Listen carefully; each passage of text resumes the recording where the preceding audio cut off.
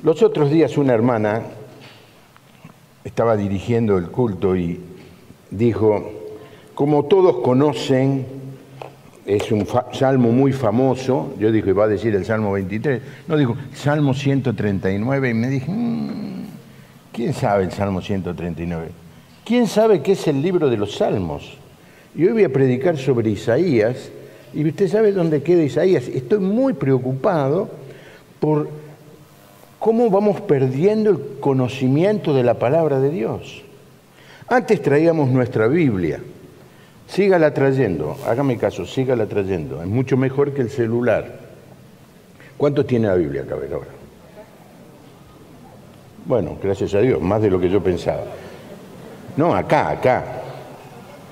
¿Cuánto tiene el celular?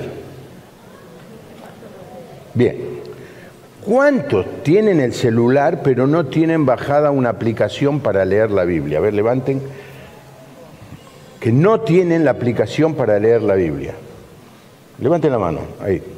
Todos ustedes, antes de irse, pídanle a un joven de la iglesia que les diga cómo bajar la aplicación para leer la Biblia. No solo leerla, sino escucharla. Por ejemplo, el pasaje que voy a leer hoy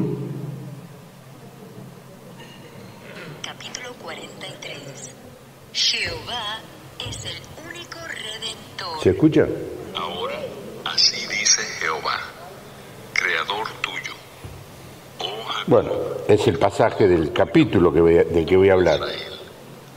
O sea que usted puede tener la palabra de Dios en su mano todo el tiempo, porque usted tiene el celular todo el tiempo, y leer la palabra de Dios o escuchar la lectura de la palabra de Dios.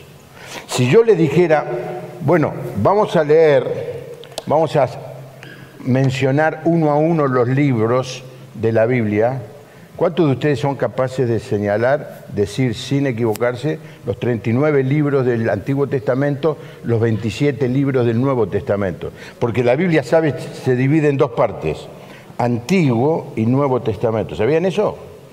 Vamos a ver un video que, que preparé para que nos vayamos recordando y mucho más que uno va a ir aprendiendo. La Biblia no es un libro en sí mismo, es una colección de libros. Y estos libros están divididos en parte. Están los cinco primeros libros, el Génesis, Éxodo, Levítico, Número, Deuteronomio. Luego vienen los libros históricos, Josué, jueces, Ruth, primera, segunda Samuel, primera, segunda Reyes, primera, segunda Crónicas, Esdras, Nemías y Esther. Después vienen los libros poéticos, Job, Salmos, Proverbios, voy a leer algo de los Salmos, Proverbios, Eclesiastés y Cantares. Voy a leer algo de ahí. Luego vienen los cinco profetas mayores, mayores porque son largos. Voy a hablar sobre Isaías, pues están Jeremías, Ezequiel y Daniel, Lamentaciones es un libro que escribió Jeremías. Luego los profetas menores, ¿cuántos saben eso? A ver, repitan sin mirar. Osea, Joel, Amós, Abdías, Jonás, Miqueas, Naúna, Bacut, Sofonías, Ageo, Zacarías y Malaquías. Los doce libros del Antiguo Testamento que se llaman profetas menores. Estoy preocupado porque cada vez sabemos menos de la Biblia. Luego viene el Nuevo Testamento, Mateo, Marcos, Lucas y Juan, los Evangelios, ¿no es cierto? Luego viene una carta, un, libro que se llama Hechos, que es el libro de la historia de la iglesia. Luego vienen las cartas de Pablo, Romanos, Primera y Segunda Corintios, Gálatas, Efesios, Filipenses, Colosenses, Primera y Segunda Tesalonicenses, Primera y Segunda Timoteo, Tito y Filemón, las cartas de Pablo. Luego vienen las cartas generales, Hebreo, Santiago, primera y segunda Pedro, primera segunda y tercera Juan y Judas. Y por último, el libro de las profecías, el libro de Apocalipsis. Y usted me dice, ¿cómo sabe? ¿Se lo sabe de memoria? Claro, eso es lo que me enseñaron en la escuela dominical. Cuando alguien dice, vamos a leer Jeremías, yo sé dónde está Jeremías. ¿Usted sabe dónde está Habacuc? Si yo predico sobre Bakú, le tengo que dar media hora a la gente que busque la página inicial, busque hasta que encuentra qué página está. Tenemos que volver a hacer de la palabra de Dios el alimento diario, porque si no, no vamos a tener ni los recursos, ni la energía, ni el conocimiento para poder dar razón de nuestra fe.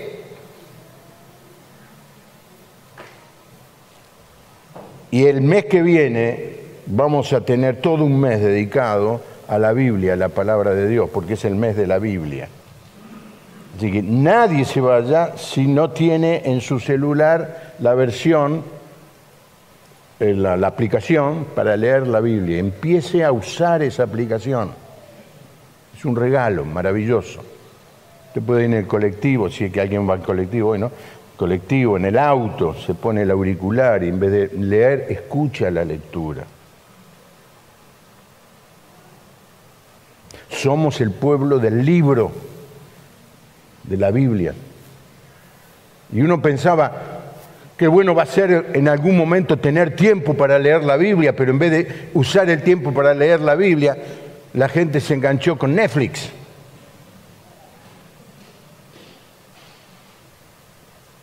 Y hemos perdido la oportunidad que la, la, la historia del mundo nos, nos presenta de leer la palabra de Dios. El mensaje en esta mañana se llama Ríos en el desierto. El profeta Isaías que le mencioné nació en el año 765 antes de Cristo y murió en el año 695 antes de Cristo. Saben que se cuentan al revés los años antes de Cristo.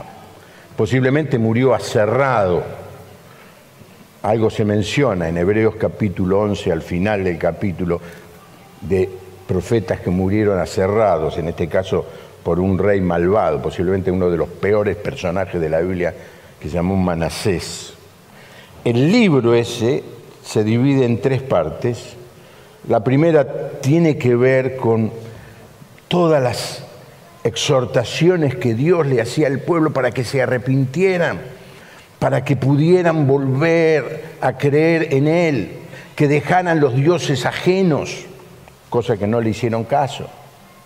La segunda parte, de golpe Isaías comienza a profetizar palabras de bendición, promesas de Dios para el pueblo, especialmente cuando hubieran pasado la etapa del exilio. Y el último párrafo tiene que ver con profecías de, la reconstrucción del templo y muchas profecías que todavía no se cumplieron, que Dios mediante se van a cumplir en el futuro. Ahora, el libro de Isaías es un libro que tiene muchas palabras para nosotros en el día de hoy. Fundamentalmente, promesas. Y hoy quiero hablar de una promesa maravillosa que por supuesto tiene una condición y que está en Isaías 43, versículo 18 al 21. Prenda su celular, le voy a dar tiempo, busque. No, lo prefiero leerlo desde la pantalla. Bueno, léalo de la pantalla.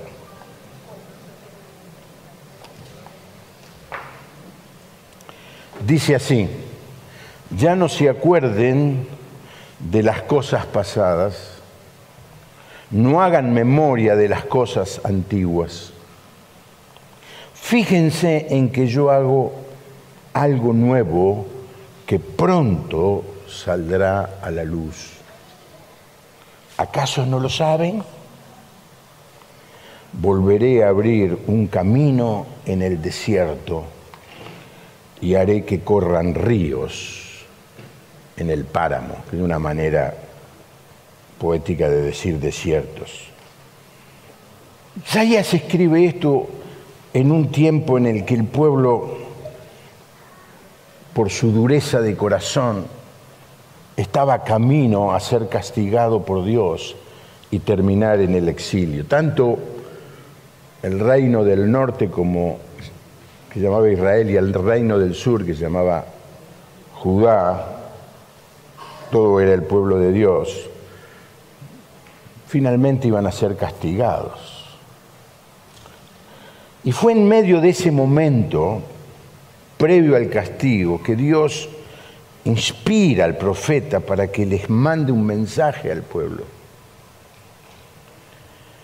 Diciéndole, miren, va a venir momentos difíciles, pero van a venir también los buenos momentos. Dios, el Señor dice, yo no me voy a olvidar de ustedes, los voy a traer y les voy a dar bendición.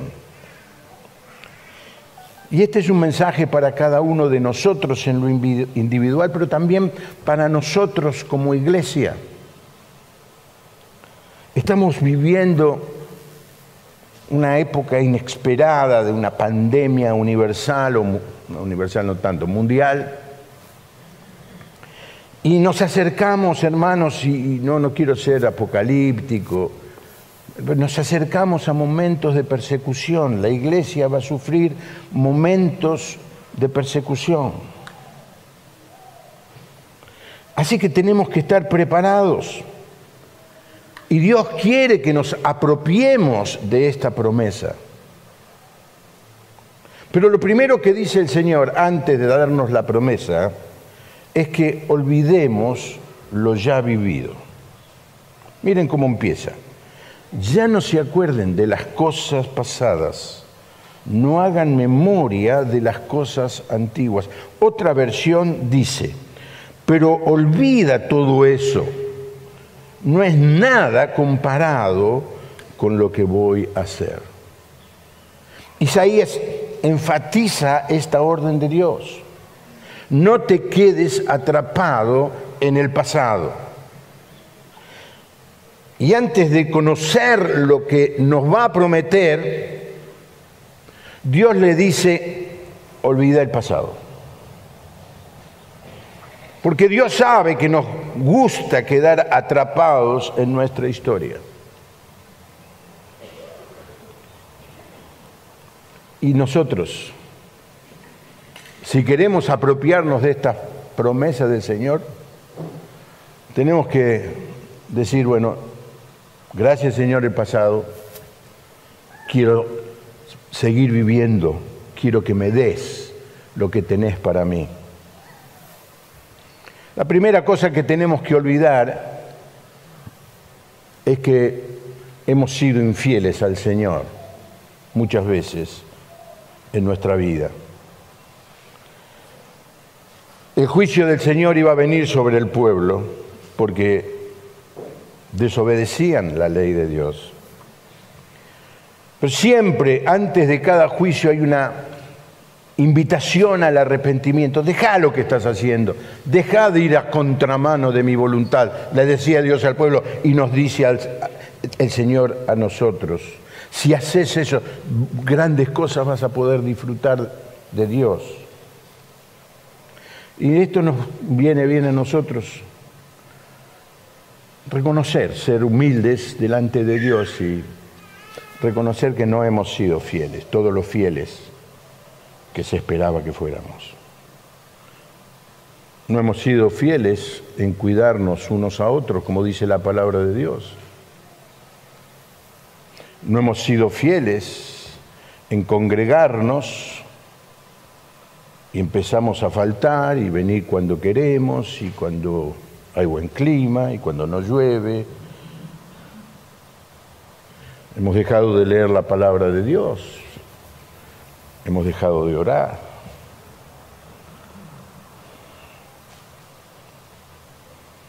Olvida el pasado. Dios no quiere que te quedes enredado. Hoy qué malo que fui. Olvida el pasado. El Señor te dice, olvídalo, yo estoy dispuesto a perdonar eso. Simplemente reconocer, Señor, he sido infiel, perdóname. En segundo lugar, tenemos que olvidar nuestros fracasos. No sé de ustedes, pero yo he, tenido muchos fracasos en, en mi vida. En esta semana he tenido fracasos, cosas que he intentado y no anduvieron bien, cosas que traté de hacer y no, finalmente no las hice. Satanás se especializa en amargarnos la vida haciéndonos acordar de nuestros fracasos pasados. ¿Qué vas a prometer si ayer dijiste que ibas a hacer eso y no lo hiciste? ¿Alguna vez escucharon eso ustedes? ¿Qué te la da de ahora de espiritual que vas a... Si, la semana pasada pudiste hacer esto para el Señor y no lo hiciste. Satanás es muy astuto para desanimarnos, desalentarnos y decirnos, no, no, no va a andar. No va a andar. Olvídate el fracaso. El Señor te dice, ya sé que fracasaste, pero igual te sigo amando y quiero darte una nueva oportunidad. Tercer lugar, olvidarnos de todos nuestros desencuentros. A veces me encuentro con hermanos que guardan historias del pasado y cada tanto las sacan porque fulano de tal un día no me saludó. O hizo tal cosa y Olvida de tus desencuentros. ¿Tuviste problemas con algún hermano? Olvídalo. Porque mantener ese, esa memoria, ese recuerdo, te amarga la vida. Y lo peor que no solamente te amarga la vida a vos, amarga la vida de todos los que te rodean. Olvida el pasado. Olvida que alguno no se portó bien con vos.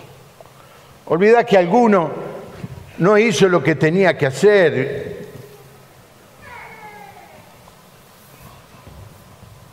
Date una oportunidad de que Dios toque tu vida.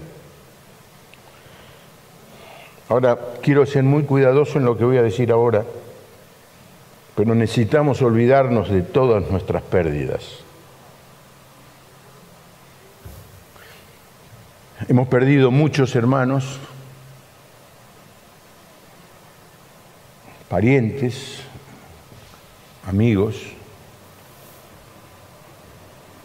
Otros han perdido sus empresas, otros han perdido su trabajo, otros han perdido oportunidades.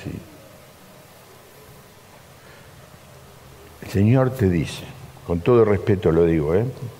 sé, que aquí hay personas que han perdido seres queridos. Olvida.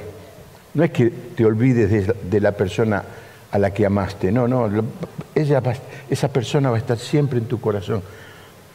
Deja, el duelo es necesario, pero que no pueda, no debe durar más de lo que es sano. Podría decir muchas cosas más, pero quiero decir una más. También tenemos que olvidarnos de nuestros éxitos del pasado. Tuvimos algún éxito, ¿eh? El 9 de diciembre del 2018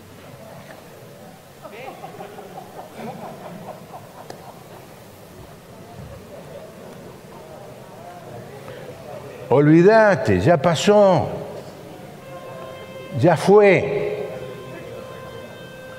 Como iglesia el Señor nos ha bendecido en el pasado. Hermanos, es sorprendente. Tenemos 11 terrenos, somos multimillonarios. Pero no, no tenemos que quedar detenidos en lo que el Señor ya hizo sí ser agradecidos, pero el Señor dice, olvídate, porque tengo más para vos. La, la iglesia le dice, bárbaro con lo que ya tuvieron, ya recibieron, por lo que ya fueron bendecidos, pero no, no se queden acá. Y yo, hermanos, en esta época de pandemia, en este proceso de transición que estamos viviendo, yo oro al Señor para que le dé a, los pastores, a los líderes, a toda la congregación nuevos sueños, nuevos proyectos, que hagan que lo que tenemos ahora sea nada comparado con lo que el Señor nos quiere dar. ¿Cuántos piensan que el Señor tiene mucho más para nosotros todavía? Es lindo recordar los buenos momentos, un amigo, muy amigo que figura en el libro que escribí, vino a mi casa a felicitarme por el libro. Y me- cuando termina le digo, ¿te gustó? Sí, me encantó. Dice, pero faltaba un- el capítulo del, del futuro. Bueno, ¿qué querés? Profeta no soy. eso. A lo sumo tengo buena memoria de lo que pasó. Pero me llamó la atención, me sacudió, porque el libro son historias del pasado, de recuerdos, de, cosas que Dios me bendijo o nos bendijo. Ya fue. Es bueno leerlo para decir gracias Señor, pero no, no nos podemos quedar detenidos en el pasado, en los éxitos del pasado, porque Dios tiene muchas cosas todavía para nosotros. Miren cómo lo entiende el apóstol Pablo en Filipenses capítulo 3, versículo 12.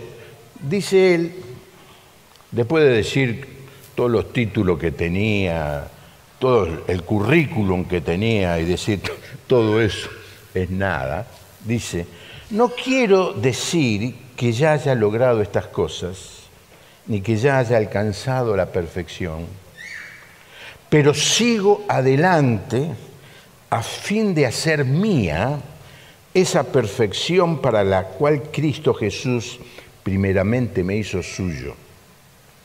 No, amados hermanos, no lo he logrado, pero me concentro únicamente en esto. Y acá, fíjense la relación con el pasaje de Isaías. Olvido el pasado.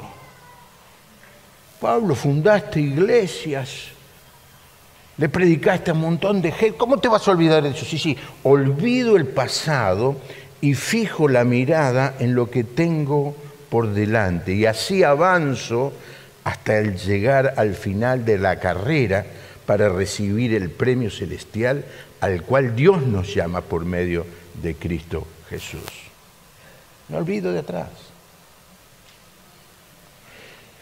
La razón por la cual Isaías y Pablo nos dicen que olvidemos las cosas del pasado es porque esos recuerdos terminan haciendo quedarnos detenidos en el pasado. Y al quedarnos en el pasado, nos perdemos lo que Dios quiere hacer en nuestra vida ahora. La vida del cristiano se compara a una carrera. Y lo podemos leer en Hebreos capítulo 12.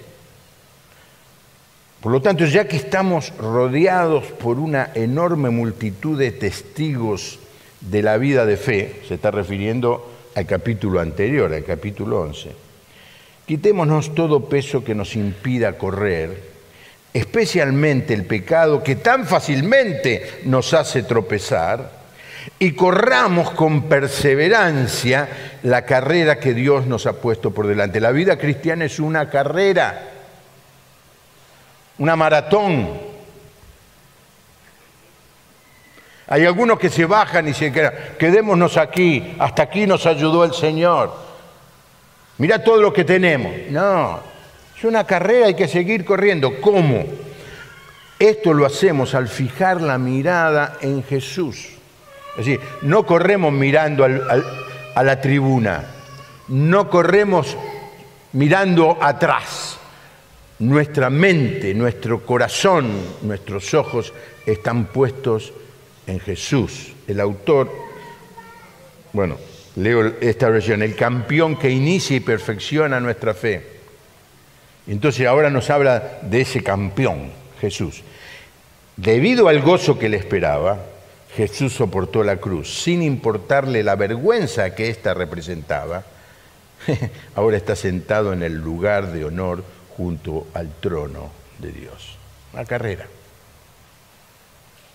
Volviendo al texto de Isaías, después de decirnos que olvidemos el pasado, nos dice que Dios está dispuesto a hacer dos grandes cosas.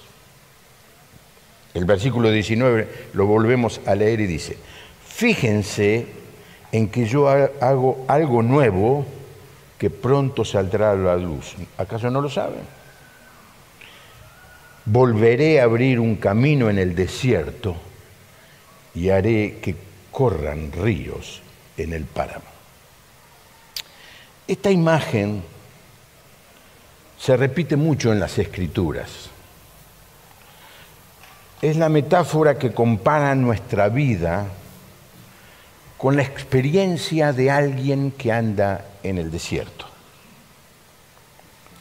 Por ejemplo, en el Salmo 107 hay cuatro metáforas que definen un poco al que está perdido, al que está alejado de Dios. Pero una, la primera, se refiere exactamente a alguien que camina por el desierto. Dice, algunos vagaban por el desierto, perdidos y sin hogar, con hambre y con sed estaban a punto de morir.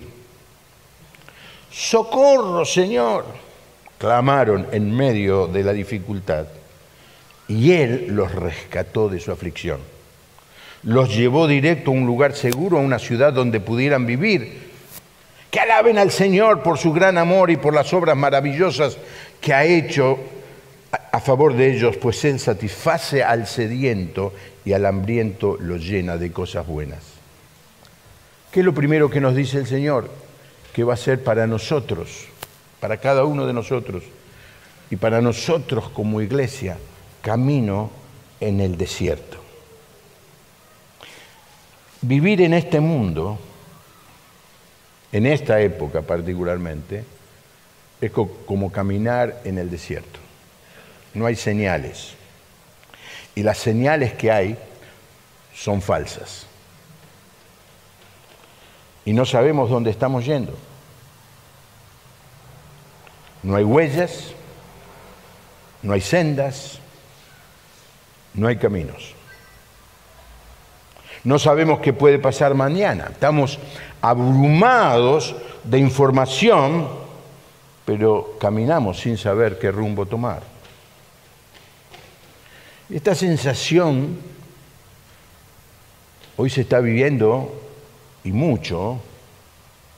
Rick Warren dice que la pandemia en los próximos 10 años va a ser la depresión. Los que inventaron esta pandemia son los dueños de Zoom y los psicólogos se están llenando de plata. Porque la gente está con angustia, ansiedad, temor. Y lo que hacemos habitualmente es proyectamos nosotros nuestro propio camino. Nos creamos caminos que no van a ningún lado. Y estamos perdidos. Y si bien esta es la realidad de aquellos que no están no son salvos, que no están en la familia de la fe, es triste decir que también es la realidad de muchos cristianos en el día de hoy, que viven una vida sin sentido, rutinaria. Miraba los otros días, en YouTube está, a unos monjes budistas tibetanos. ¿Cuál es el estilo de vida de ellos, de adoración? Tienen unos cilindros redondos, entonces hay un tipo sentado y se pasa la vida haciendo girar el cilindro. ¿Lo, vieron alguna vez eso? Y esa es su, su manera de vivir su vida religiosa, dándole vuelta el cilindro mañana, tarde, noche, un año tras año.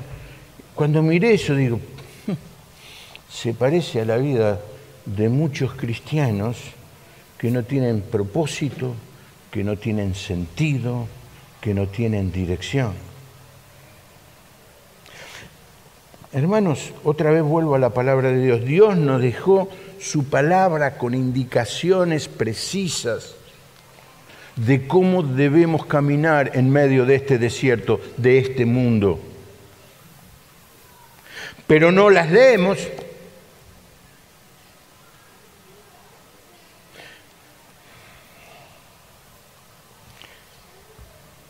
A los hombres, voy a hablar mal de los hombres, para que no digan que soy machista. No nos gusta pedir indicación, ¿cierto? Me la sé. Ayer fui con Noemí a un lugar Y vamos y nos pasamos. Nos pasamos. ¿Por qué? Porque no quise poner el Google, el, ¿cómo es? El, GPS. Nos pasamos.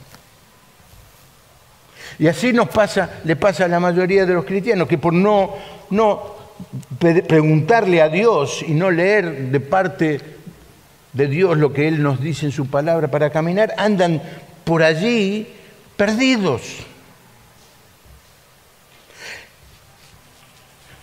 Y agregamos este pecado a los muchos que ya tenemos, el pecado de la idolatría. Hacemos a nuestro yo Dios. Y ahora yo soy el que va a decir dónde voy. Yo soy el que va a decir de qué manera voy. Yo soy el que va a decir cuándo voy. Yo, yo y yo. El Señor te dice, si dejas, te olvidas el pasado y dejas de hacer de Dios y me dejas a mí guiarte, yo voy a hacer un camino en medio de este desierto. Usted entonces se encuentra con cristianos que en medio de la prueba, de la pandemia, de la violencia, de las mentiras, de los políticos, caminan tranquilos. ¿Por qué? Porque están conectados con el GPS espiritual, que es la palabra de Dios. Dios quiere hacer un camino en tu vida. No sé en qué momento estás, no sé cuál es tu desierto. Dios te quiere decir, yo tengo un camino para vos, hoy. Hoy. Segundo lugar, dice que Él hace ríos en el desierto. El problema más grande al caminar en el desierto es no tener agua. No sé cuántos de ustedes alguna vez sufrieron sed, sed intensa y no tener agua. La falta de agua, de líquido, causa fatiga, disminución de nuestro estado, de, eh, de nuestra función cognitiva, alteraciones en el estado de ánimo, una caída de la presión eh, arterial y sigo, cerebro deshidratado, se contrae, puede pensar menos. Es malo caminar por el desierto, pero es mucho peor caminar sin agua. De la misma manera, vivir la vida cristiana sin el agua espiritual que es el Señor, nos condena a vivir cansados, deprimidos, aburridos y sin fruto. Sin agua no hay fruto. Lo extraordinario es que no solamente Dios quiere darnos un camino, decir, mira, camina por acá, porque este va al destino que yo quiero que vaya, sino que nos da también los recursos para caminar ese camino, que es el agua espiritual, ríos en el desierto. Yo puse la foto allí, en el PowerPoint, de un río en Palestina, porque en general pensamos en el desierto de Sara, de arena, todo, pero el desierto en el que estuvo el Señor Jesús eran montañas, montañas. No había nada. Pero hay un momento o dos en el año en que donde no hay nada aparece el agua torrente y hace un río, que dura poco, pero un río. Cuando el pueblo de Israel iba caminando por el desierto, Dios permitía que se encontraran con ríos, riachos y poder tener el agua que necesitaban. En medio de la inseguridad que vivimos, de las pérdidas, Él promete darnos fuerza, darnos el recurso para poder enfrentar este caminar en el desierto con la energía que viene de Dios. Fíjense, a Elías le dio agua y los cuervos le traían comida. A Daniel lo libró de los leones. A sus amigos del calor del horno de fuego. A los discípulos los hizo pescar una pesca milagrosa después de que habían intentado y no habían pescado nada.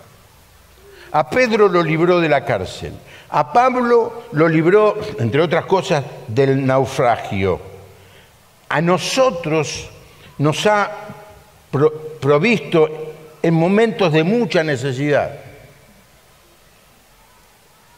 Nos dijo qué hacer y nos dio los recursos. Y Dios quiere hacer eso en tu vida. Decirte cuál es el camino y cuál es el recurso para que puedas caminar ese camino. ¿Y lo que se espera qué? Lo que se espera es que renuncies a caminar tu camino y le digas, Señor, olvido el pasado, perdóname por vivir mi vida a mi manera, a mi estilo, acepto este regalo que me das de poner un camino nuevo y agua en medio del desierto. Así que le voy a pedir a, a Willy que nos ayude con esta canción. Vamos a cantarla todos y después vamos a tener un momento de oración.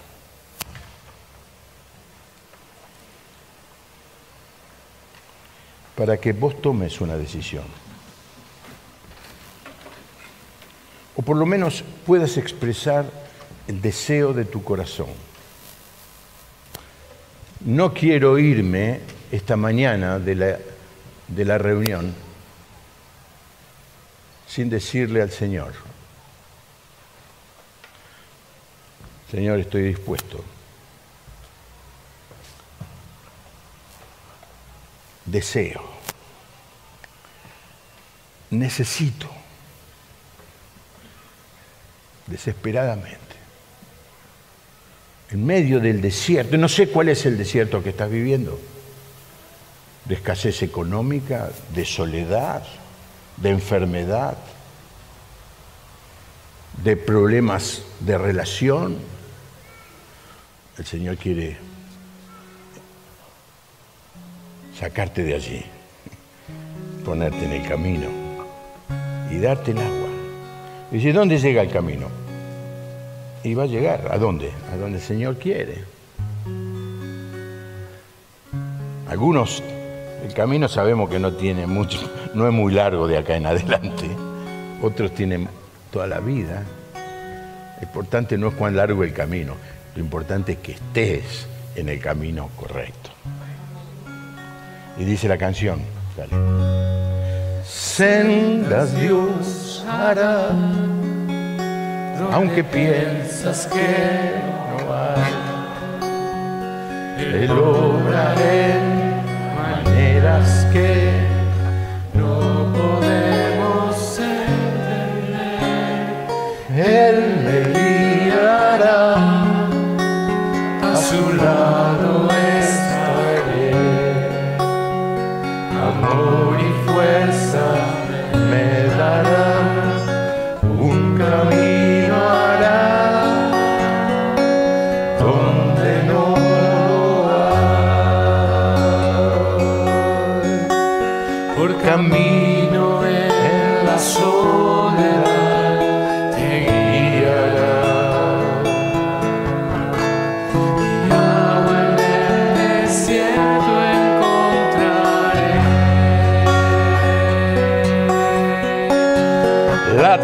La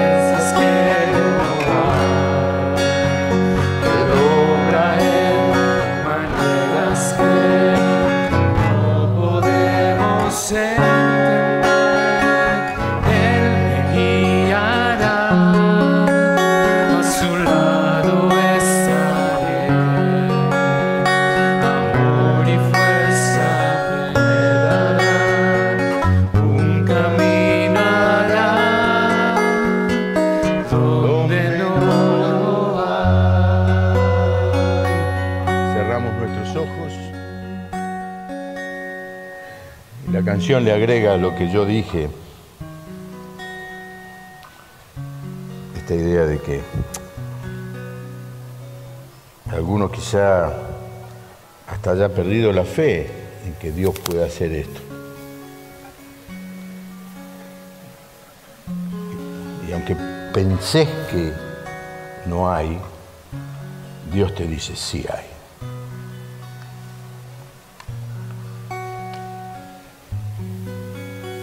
Si hay alguien que en esta mañana quiere decirle eso al Señor, siente que el Señor le ha hablado, simplemente póngase de pie y diga yo, en el día de hoy quiero decirle, Señor, haz algo nuevo en mi vida. Ahora, en el momento de ponerse de pie.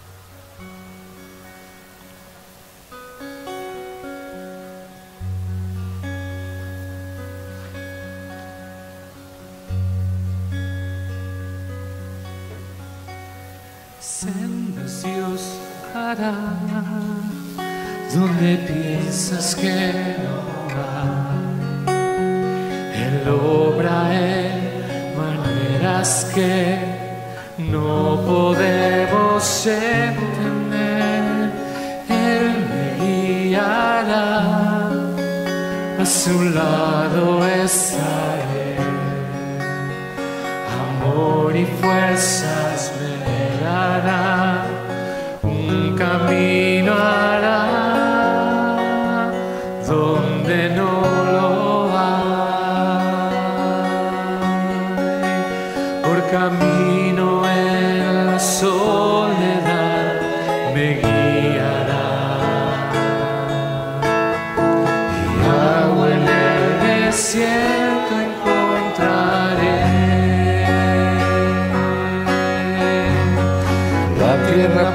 time.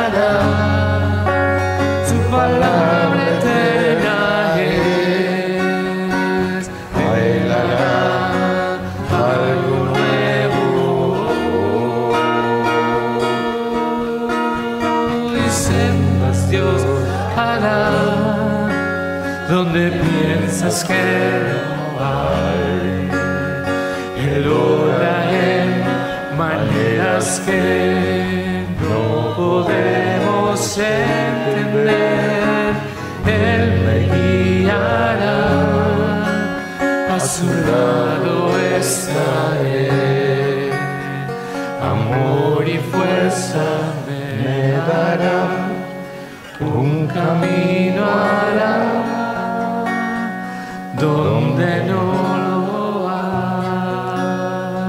Aquellos que están de pie, yo les voy a guiar en esta oración, si quieren en silencio en su corazón repetirla. Señor, dame las fuerzas para olvidar el pasado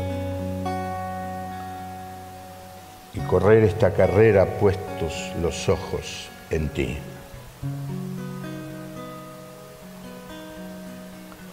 Te pido, Señor, que hagas un camino nuevo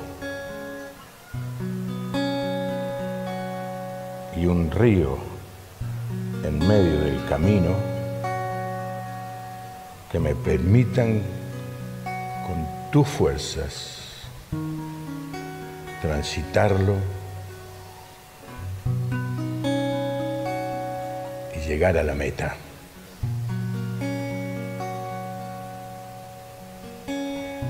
Reconozco que soy débil, que he fracasado muchas veces en el pasado, pero acepto la invitación que me haces en el día de hoy. Muéstrame ese camino,